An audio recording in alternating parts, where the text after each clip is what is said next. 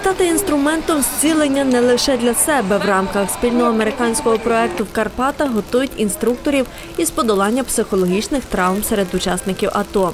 Цей процес відбуватиметься за принципом рівний рівному, адже в якості тренерів самі ж бійці. Вони проходять черговий етап тренінгів, які розпочали восени цього року. Робоча назва проекту примусівка, адже не всі визнають наявність у себе наслідків посттравматичного розладу. Світова практика доводить, що бійці, ветерани, які брали участь в бойових діях, вони рідко звертаються одразу до психолога. І першим, до кого вони можуть звернутися, це є їхні побратими для того, щоб розділити цей досвід, часто дуже травматичний досвід, або взагалі такий екстремальний досвід. Тут коло дуже вузьке, е, саме тих, хто пройшов АТО, вони не довіряють е, пост- стороннім особам взагалі. Ці люди, пусть не поряд зі мною, але вони воювали також, як і ми. Тому братня довіра вона до кожного. Тобто тут нема сторонніх, які десь колись там мали якесь відношення, там вдягнули форму і кажуть, що я там льотчик, я в танки горів. Да?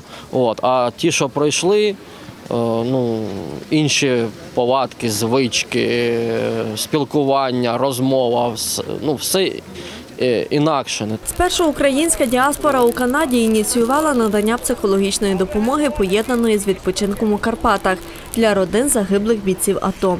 Ну а тим, хто повернувся з фронту, здолав власні негаразди і тепер прагне поділитися досвідом з іншими, допомагають розвивати не лише дух, але й тіло. Очевидно, що під час війни, коли все стає або чорним, або білим, немає сірого, і кожен керується такими цінностями, як е, надійність, вірність, е, дружба, чесність, правда і так далі, то, на жаль, в буденному житті це трохи так, якби перемішано з іншими, я б сказала, неморальними якостями.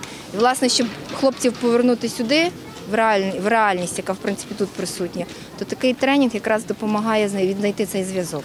Ми даємо хлопцям е, попрацювати суто в напрямку українських ремесел, показати, що таке Україна, яка культурна скарбниця, і свого роду ніби показати такий зв'язок ну, з мирним життям. Тиждень у горах із психологічними і не тільки майстер-класами, звісно, не міг обійтися без активного спорту. Катання на лижах з інструктором і прокатом спорядження вже традиційно учасникам таких соціальних програм забезпечують у туристичному комплексі Буковель. Людей не тільки треба оздоровлювати, а ще й максимально сприяти, щоб вони дійсно не мислили без кінця про війну, а мислили про звичайне життя.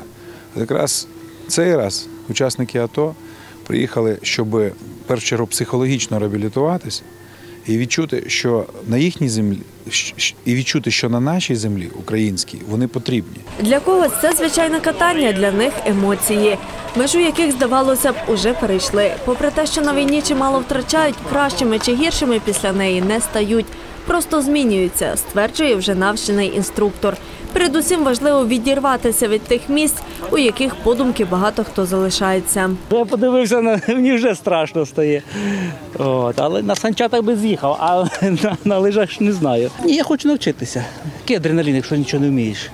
Вже коли навчився, тоді вже напевно. Ну, я дуже давно хотів навчитися. У мене ну, якось так було можливість багато разів спробувати, але ну, не, доходило до того. Я після поранення минулого року був на лижах, дуже дуже задоволений був від цього разу теж. У мене частково не працює нога, але в лижних червиках вона добре фіксується. Я тут відчуваю себе, наче здорова людина. Я просто один із помічників тренерів, тобто ко-тренер. Я вже пройшов цю програму. Відповідно, в мене е, теоретично має бути краще життєрадісність і всяким таким. От е, тому якби я цілком задоволений тим, де я є, що я роблю, хто я є. Та? Тобто я не жалкую там ні за що. Від початку року, завдяки серії проведених тренінгів, навчили вже 19 інструкторів, які передаватимуть свої знання і навички далі.